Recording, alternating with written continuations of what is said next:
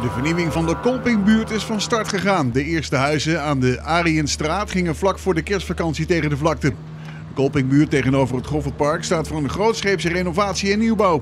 Van de 241 huizen worden er 126 gerenoveerd. 115 gaan plat en daarvoor in de plaats komen 83 nieuwbouwhuizen terug. De meeste bewoners blijven in de wijk wonen tijdens de renovatie en de nieuwbouw.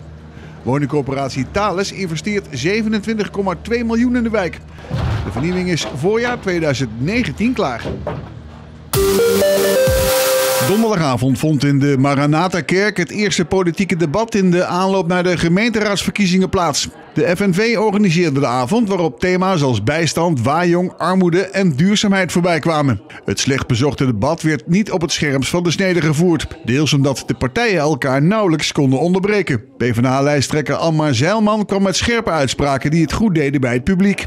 En stadspartij DNF-raadslid John Brom toonde zich het ijverigst in het beantwoorden van vragen uit de zaal. Namens nieuwkomer Partij voor de Dieren nam lijsttrekker Michelle van Doorn deel aan het debat dat weinig onderwerpen kende waar zij mee uit de voeten kon. Welk onze rekenen op scherpe tegenstand van GroenLinks-lijsttrekker April Ranshuizen. VVD en D66 spraken zich uit voor het investeren in het aantrekken van grote bedrijven. En het CDA voor het beter screenen van werkzoekenden om meer mensen aan een baan te helpen.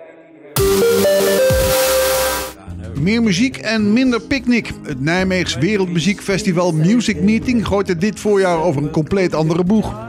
De focus komt te liggen op de echte muziekliefhebber. Er zijn meer podia en meer optredens. De organisatie erkent dat de koerswijziging zeker niet zonder risico's is. Toch is het volgens de leiding de beste weg voor een bestendige toekomst.